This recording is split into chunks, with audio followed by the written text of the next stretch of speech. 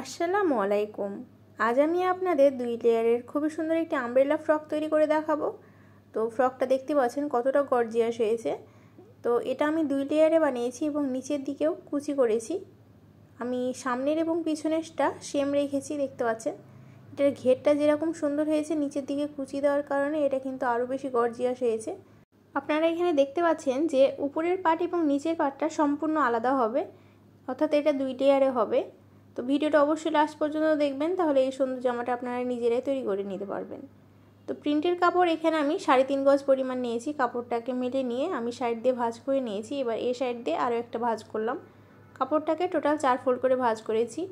এটা চওড়া আছে দশ ইঞ্চি, আপনাদের বডি যতটুকু হবে তার চার ভাগের এক ভাগ প্লাস এক ইঞ্চি করে আপনারা কাপড়টা ভাজ করবেন। তো আমার সাইডে আমি বন্ধ সাইডটা রাখব এবং এই সাইডে খোলা সাইডটা হবে। কাপড়টা কিন্তু আমাদের চার পাটে আছে, আমি আপনাদের দেখাই। দেখতে পাচ্ছেন? এদিকে কিন্তু আমাদের চারটা পাট আছে। তো এটা সামনের এবং পিছনের, উপরের পাটের জন্য। তো বন্ধ সাইড থেকে আমরা পুটের জন্য ছয় ইঞ্চিতে এবং গলা চওড়ার জন্য তিন ইঞ্চিতে দাগ দেব। এবার পিছনের গলার লম্বা আমরা চার রাখব এবং সামনেরটা ছয় রাখব। তো এদিক থেকেও তিন ইঞ্চিতে দাগ দিয়ে আমি বক্স করে নিচ্ছি। তো সামনের এবং পিছনের পাটের জন্য আমি আলাদা আলাদা করে বক্স করে নিলাম। সামনের গলাটা গোল রাখব এবং পিছনের গলাটা একটু এই যেভাবে করে পান পাতা শেপ দিলাম। ঘাড়ে আমরা হাফ ইঞ্চি ডাউন করব এবং বগলের লম্বাটা আমরা সাত ইঞ্চি রাখব। তো এইখানেও একটা বক্স করে নিয়ে আমি বগলের রাউন্ড শেপটা একটু দিয়ে নিলাম। এবার আপনাদের বডির মাপটা নিতে হবে। এখানে আপনারা নিজ নিজ বডির মাপ নেবেন বডি যতটুকু হবে তার চার ভাগের এক ভাগ প্লাস এক ইঞ্চি নেবেন। এটা আটত্রিশ বডির জন্য, তো আটত্রিশে চার ভাগের এক ভাগ সাড়ে নয় এবং এক ইঞ্চি এক্সট্রা নিলে সাড়ে দশ হয়, তো সাড়ে দশ ইঞ্চি করে কাপড়টা কেটে নিয়েছি। এবং লম্বাটা আমরা ষোলো ইঞ্চি রাখলাম। এবার নিচ থেকে এক ইঞ্চিতে দাগ দিব এবং এ দাগের ভিতরের দিকেও এক ইঞ্চিতে দাগ দিব। এবার এই দাগ থেকে আমরা এই যে দেখুন ভিতরের দাগের সাথে এবং বগলের দাগের সাথে মিলিয়ে দিলাম। এখন দাগ অনুযায়ী কাপড়টা কাটিং করে নিব, তাহলে আমাদের উপরের যে পাটটা সেটা কাটিং কমপ্লিট হয়ে যাবে। আপনারা এটুকু কাটিং করতে পারলে আপনারা সব জামাই কাটিং করতে পারবেন। তো আশা করি বুঝতে পেরেছেন। যদি বুঝতে না পারেন, এইটুকু জায়গা আরও একবার রিপিট করে দেখবেন, তাহলে দেখবেন যে আপনাদের সমস্যাগুলো সলভ হয়ে যাবে। তো পিছনের পাটটা সরিয়ে রেখে এবার কাপড়টাকে আবারও সুন্দর করে ভাজ করলাম। এবার আমাদের যে সামনের গলাটা, সেটা কাটিং করে নিলাম। তো আমি এবার একটা কালো কাপড় নিলাম। কালো কাপড়টাকে দুইবার ফোল্ড করে ভাজ করলাম। এবার এই যে সামনের পাটটা, এটার উপর বসিয়ে এই মাপেই একটা কাপড় কেটে নিলাম। এবার প্রিন্টের কাপড়টা আমি একটু কোটি সিস্টেম করব। তো একদম ঘাট থেকে দশ ইঞ্চিতে একটা দাগ দিলাম। এবার আমরা গলাটা এ পর্যন্ত নামিয়ে দিব। এবার ভিতরের দিক থেকে আমি তিন ইঞ্চিতে একটা দাগ দিব এবং এই যে এর নিচ থেকে উপরের দিকে তিন ইঞ্চিতে একটা দাগ দিলাম। এবার এই দাগ থেকে এই দাগ পর্যন্ত মিলাবো এবং এই দাগ থেকে গলার যে দাগটা দিয়েছিলাম সেই দাগ পর্যন্ত মিলাবো। তাহলে খুব সুন্দর একটা কোটির ডিজাইন তৈরি হয়ে যাবে। এখন আমরা এই দাগ অনুযায়ী কাপড়টাকে কাটিং করে নিব। প্রিয় ভিউয়ার্স, আপনি যদি আমার চ্যানেলে নতুন হয়ে থাকেন এবং আমার চ্যানেলে রেগুলার আপডেট ভিডিও পেতে চান, অবশ্যই আমার চ্যানেলটা সাবস্ক্রাইব করবেন এবং পাশে আসে বেল আইকনটা অন করে রাখবেন পরবর্তী সকল ভিডিও নোটিফিকেশান সবার আগে পাওয়ার জন্য। তো কাপড়টা কীভাবে বসবে আমি আপনাদের একটু দেখিয়ে দিই। কালো কাপড়ের উপর এই যে এই প্রিন্টের কাপড়টা আমাদের কোটির মতো হয়ে বসবে। তো কোটিতে আমাদের পাইপিং লাগাতে হবে এবং এটা আমাদের এটার সাথে জয়েন্ট করতে হবে। তো কালো কাপড়টা আমি তিন গজ পরিমাণ নিয়েছিলাম। আমাদের উপরের পাট কাটিং করার পর যেটুকু কাপড় ছিল, সেইটুকু কাপড় আমরা দুই ফোল্ডে ভাজ করেছি। এবার এই সাইড থেকে আরও একবার ফোল্ড করে ভাজ করলাম কোনা করে। এবার উপরের পাটের নিচের অংশের মাপটা নেব। তো দেখতে পাচ্ছেন এখানে আমাদের দশ ইঞ্চি আছে। এবার কোনার অংশে দশ ইঞ্চি হবে এরকম একটা জায়গা আমরা দাগ দিয়ে নিব। এবার উপর থেকে এই দাগটা দেখব যে কত এসেছে। তো এখানে দেখতে পাচ্ছেন আমাদের সাড়ে বারো ইঞ্চি এসেছে। তো ফিতাটা আস্তে আস্তে করে ঘুরাবো এবং পুরোটা সাড়ে বারোতে দাগ দিয়ে নিব। উপরের ফিতাটা কিন্তু সরানো যাবে না। ওই ফিতাটা ধরে আপনাদের এভাবে করে রাউন্ড শেপে একটা দাগ দিয়ে নিতে হবে। তো আমরা কাটার পর যেহেতু আমাদের রাউন্ড শেপটা বড় হয়ে যায়, সেজন্য এক ইঞ্চি উপরে আমরা আরও একটা দাগ দিব।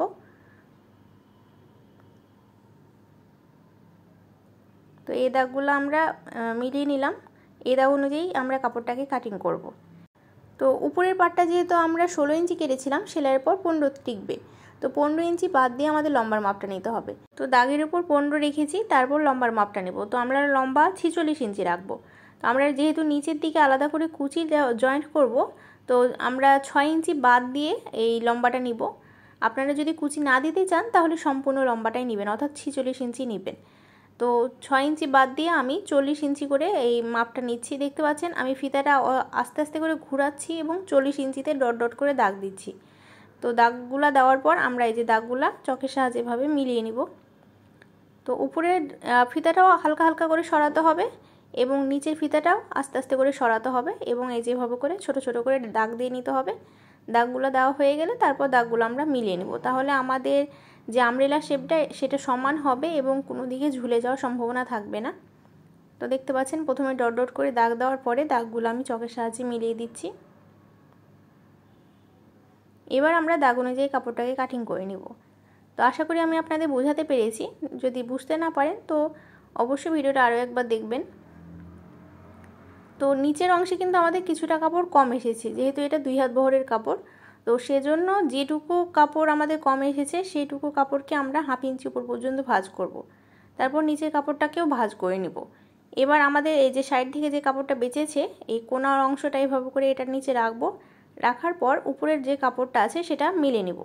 তো সুন্দর মতো করে মেলে নেওয়ার পর কাপড়টা যে শেপে আমাদের, যে উপরের কাপড়টা যে শেপে আছে সেই শেপে কাপড়টাকে কেটে নিতে হবে। তো যে কাপড়টা এখন কাটিং করলাম সেটা হচ্ছে দুইটা অংশ আছে। তো দুইটা অংশ যেহেতু আমাদের ছোট, সেজন্য দুইটা অংশ জয়েন্ট করে নেব। এবার প্রিন্টের কাপড়টা নিলাম। প্রিন্টের কাপড়টাকেও দেখতে পাচ্ছেন দুই ফোল্ড করে ভাজ করে নিয়েছি। এবার এই যে ছোট সাইডটা আমরা ভাজ করে এই সাইডের সাথে মিলিয়ে দিলাম। এখন যে কাপড়টাকে কাটিং করেছি, সেই কাপড়টা এটার উপর বসাতে হবে। তো উপরের অংশটা ভালো মতো মিলাবেন। সাইডের সাইডের অংশটাও ভালো মতো মিলিয়ে নেওয়ার পরে আমাদের উপরের যে কাটার অংশটা আছে সেই দাগ অনুযায়ী এবং নিচে দাগ অনুযায়ী আমরা এই কাপড়ের উপর দাগ দিয়ে নিলাম। তো উপরের অংশতে যেহেতু আমাদের নিচের দিকে আবারও কুচি হবে, সেজন্য পাঁচ ইঞ্চি আমরা এখানে ছোট নিব। তো নিচ থেকে পাঁচ ইঞ্চি ওপরে আমরা ছোট ছোট করে ডট ডট করে প্রথমে দাগ দিয়ে নিচ্ছি, দেখতে পাচ্ছেন? তো এবার এই দাগগুলো আমরা মিলিয়ে নিব। এখন আমরা দাগ অনুযায়ী কাপড়টাকে কাটিং করে নিব। এই অংশে কিন্তু আমাদের জোর পড়বে না। তো কাটিং করা কমপ্লিট হয়ে গেলে এখন আমাদের যেটুকু কাপড় বাঁচবে, হাতার কাপড়টা সরিয়ে রেখে যেটুকু বাঁচবে সম্পূর্ণ কাপড়টাকে আমরা কুচির জন্য লাগিয়ে দেব। তো কুচি আমরা ছয় ইঞ্চি লম্বা দিব, সেজন্য এক ইঞ্চি এক্সট্রা নিয়ে সাত ইঞ্চিতে দাগ দিয়ে নিলাম। তো উপরের বডি পার্ট হাতা এবং নিচের অংশটা কাটিং করার পর যতটুকু কাপড় বাঁচবে, সম্পূর্ণ কাপড়টাকে আপনারা সাত ইঞ্চি চওড়া করে এভাবে করে দাগ দিয়ে কেটে নেবেন। তো কুচিটা যত বেশি হবে, ডিজাইনটা কিন্তু দেখতে ততই বেশি ভালো লাগবে এবং ফ্লপি হবে। তো দেখতে পাচ্ছেন, আমি সাত ইঞ্চি চওড়া করে কাপড়গুলোকে কেটে নিলাম। এখন কাপড়গুলোকে আমাদের জয়েন্ট করে কুচি তৈরি করতে হবে। তো একটা কাপড়ের উপর আরেকটা কাপড় রাখব। তারপর উল্টো করে দুইটা কাপড় মিলিয়ে ধরে এখন আমাদের সেলাই করতে হবে। সেলাই করা হয়ে গেলে এর নিচের যে কোনো একটা অংশে আমাদের এই যেভাবে করে চিকন করে দুইবার উল্টাতে হবে এবং পুরা কাপড়ে সেলাই দিয়ে নিতে হবে। এবার উপরের দিক যে দিক আছে সেদিকে আমাদের সেলাই করতে হবে। তো মেশিনের সবচাইতে বড় যে সেলাইটা আছে সেটা আমাদের সিলেক্ট করতে হবে। তো তারপরে কাপড়ের হাফ ইঞ্চি নিচ দিয়ে আমাদের সেলাইটা দিয়ে নিতে হবে। তো সুতাটা একটু বাড়িয়ে কাটবো, তারপরে সুতার প্যাঁচটা আমরা খুলে নেব। খুলে নেওয়ার পর যে কোনো একটা সুতা ধরবো এবং টান দিব এবং কাপড়টাকে পিছনের দিকে সরকাবো, তাহলে কিন্তু আমাদের কুচি তৈরি হয়ে যাবে। আপনারা চাইলে নর্মাল কুচি করতে পারেন, তবে এই কুচিটা দেখতে অনেক সুন্দর লাগে এবং এটাতে রেডিমেড লুক দেয়। তো ট্রাই করবেন এভাবে করে কুচি করার জন্য। তো সম্পূর্ণ কাপড়ে আমরা এভাবে করে কুচি করে নিব। আমি বাকিটা অফ ক্যামেরায় করে নিব। এবার সাইড থেকে যে টুকরো কাপড়গুলো বাজবে, সেগুলো থেকে গলার পট্টি কাটিং করতে হবে। তো দেখতে পাচ্ছেন একটা ছোট টুকরো কাপড়কে আমি সাইড দিয়ে ভাজ করে নিলাম। এবার উপরের পাটটা এটার উপর বসাতে হবে। তো বন্ধ সাইডের সাথে বন্ধ সাইড মিলিয়ে বসানোর পর গলাটা যে শেপে আছে সেই শেপে ড্রয়িং করে নিতে হবে। এবার কাপড়টা সরিয়ে এটার বাইরের দিকে দুই ইঞ্চিতে আমাদের একটা দাগ দিয়ে নিতে হবে। এখন এই দাগ অনুযায়ী আমরা কাপড়টাকে কাটিং করব, তাহলে আমাদের পট্টি কাটিং কমপ্লিট হয়ে যাবে। এভাবে করে খুব সহজে আপনারা একদম মাপ মতো গলার পট্টি কাটিং করতে পারবেন। এখন গলার পট্টিটা আমরা সেলাই করব। তো নিচের যে অংশটা আছে, সেটা উল্টো সাইডে আমরা হাফ ইঞ্চি মতো উল্টাবো, তারপর পুরোটা সেলাই করে নিব। এবার আমরা জামার গলায় এই পট্টির কাপড়টা বসাবো। বসিয়ে নেওয়ার পর দুইটা কাপড় মিলিয়ে ধরে আমাদের সেলাই করতে হবে। তো গলাটা যে শেপে আছে সে শেপে আমরা সেলাই করে নিব। এবার আমরা ছোট ছোট করে ভিতরে কাট বসিয়ে নিলাম। এবার পটির কাপড়টা আমরা যেভাবে করে সামনের দিকে ঘুরিয়ে নিব, তারপর পটির কাপড়ের উপর দিয়ে একটা চাপ সেলাই দিয়ে নিব। আপনারা দেখতে পাচ্ছেন, আমি কিন্তু পটির কাপড়ের উপর দিয়ে সেলাই করছি। এবার পটির কাপড়টা ভিতরের দিকে উল্টে নিব এবং পিছনের সাইড দিয়ে তুরপাই করে নিব। এবার আমরা যে কোটির কাপড়টা রেডি করেছিলাম সেটা রেডি করব। তো একটা ডরি ফিতা তৈরি করে নিয়েছি এবং কোনার অংশে সেলাই করে আমরা বসিয়ে নিলাম। এবার বাঁকা করে আমি এই যে পাইপিনের কাপড় কেটে নিয়েছি, আপনারা জানেন পাইপিনের কাপড় বাঁকা করে কাটতে হয়। এবার কাপড়টাকে দুই ফোল্ড করে ভাজ করে আমরা এটার উপর বসাচ্ছি। তো গলাটা এবং নিচের অংশটা যে হিসেবে আছে, সে হিসেবে আমাদের সেলাই করে এটা বসিয়ে নিতে হবে। এবার কাপড়টাকে আমরা ভিতরের দিকে উল্টিয়ে নিব এবং এটার উপর দিয়ে একটা সেলাই দিয়ে নেব। তো আমি এখানে পাইপিং করছি না, জাস্ট পট্টি করছি। তবে আপনাকে কিন্তু এভাবে করে সেলাই করতে হবে। আপনারা পাইপিং রাখলে কিছুটা কাপড় বাড়িয়ে এভাবে করে সেলাই করতে পারেন। এবার ভিতরের অংশ দিয়েও একটা সেলাই দিয়ে নিব। তো তুরপাই করলে অনেক বেশি সময় লাগবে, সেজন্য আমি এখানে সেলাই করে নিচ্ছি। এবার নিচের দিকে যে অংশটা বাকি আছে, সেটুকুতেও কিন্তু আমাদের এখানে এই যে পট্টিটা লাগিয়ে নিতে হবে। তো একইভাবে দেখতে পাচ্ছেন, আমি এখানে পট্টিটা লাগিয়ে নিচ্ছি।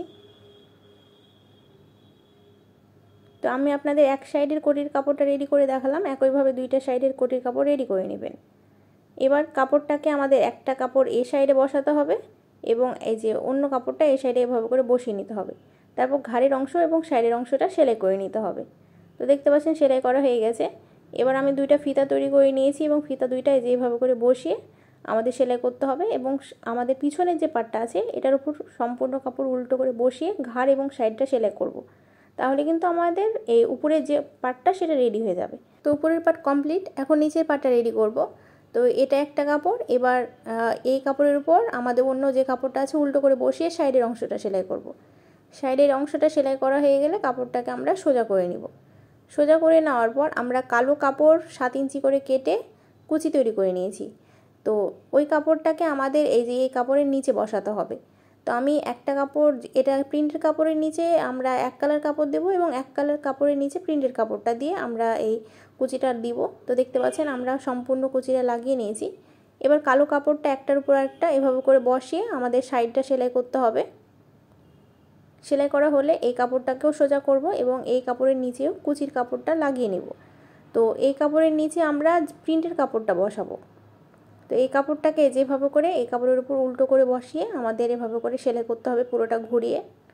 তো আমি আপনাদের সেলাই করে দেখিয়ে দিচ্ছি যাতে আপনাদের বুঝতে কোনো অসুবিধা না হয়। তো এই কাপড়ের উপর, এই কাপড়টা আমরা যেভাবে করে উল্টো করে বসাবো। বসানোর পর এভাবে করে সেলাই করে নিব।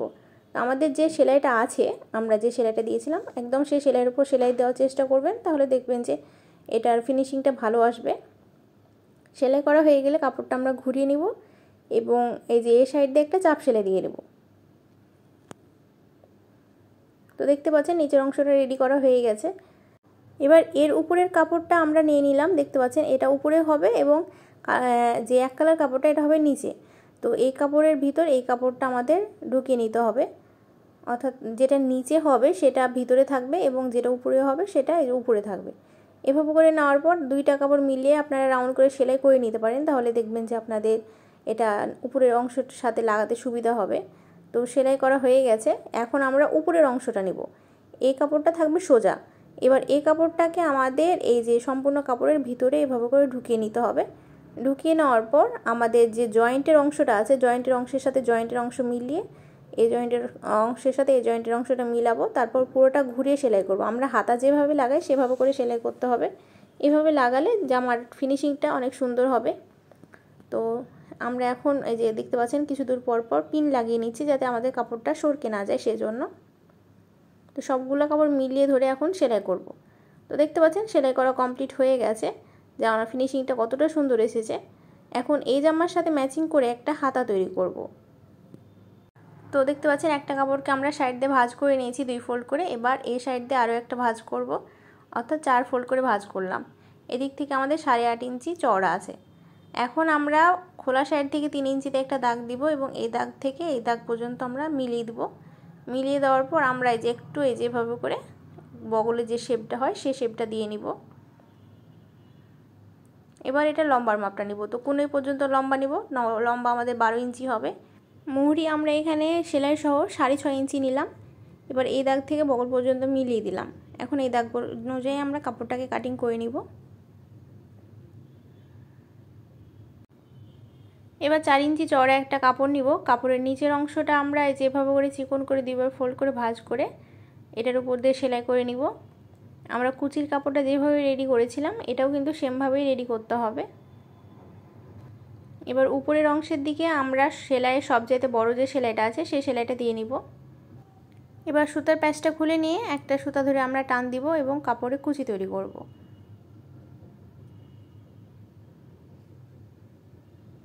কুচি তৈরি হয়ে গেলে এই কাপড়টাকে আমাদের হাতার কাপড়ের সোজা সাইডে উল্টো করে বসাতে হবে এবং দুইটা কাপড় মিলিয়ে ধরে সেলাই করে নিতে হবে।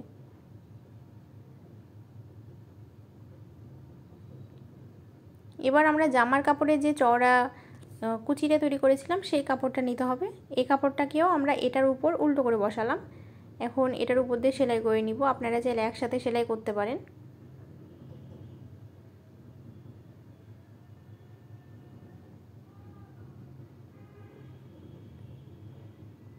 এখন কাপড়টা সোজা করে নিব। দেখতে পাচ্ছেন, তৈরি হয়ে গেছে আমাদের দুই লেয়ার এখন আবারও সাইড থেকে উল্টো করে ভাজ করার পরে এক ইঞ্চি ভিতর দিয়ে সেলাই করে নিব, তাহলে আমাদের হাতাটা তৈরি হয়ে যাবে।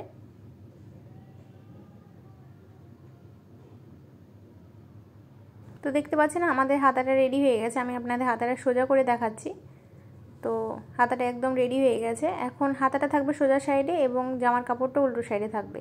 তো প্রথমে আপনারা এভাবে করে মিলিয়ে দেখে নেবেন যে আপনাদের সমান আছে কি না এবার বগলের অংশের সাথে বগলের অংশ মিলাবো এবং উপরের অংশের সাথে উপরের অংশটা মিলিয়ে আমরা পুরোটা ঘুরিয়ে সেলাই করব।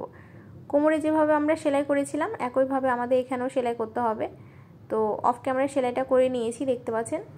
তো আজকে যে আমার ডিজাইনটি আপনাদের কাছে কেমন লেগেছে কমেন্ট বক্সে কমেন্ট করে জানাতে একদমই ভুলবেন না। এবং নতুন নতুন ভিডিও পেতে চাইলে অবশ্যই আমার চ্যানেলটা সাবস্ক্রাইব করে আমার চ্যানেলের সাথে থাকবেন। আজকের মতো এ পর্যন্তই। আমার পরবর্তী ভিডিও দেখার আমন্ত্রণ রইল। সে পর্যন্ত সকলে ভালো থাকবেন এবং সুস্থ থাকবেন। আসসালামু আলাইকুম।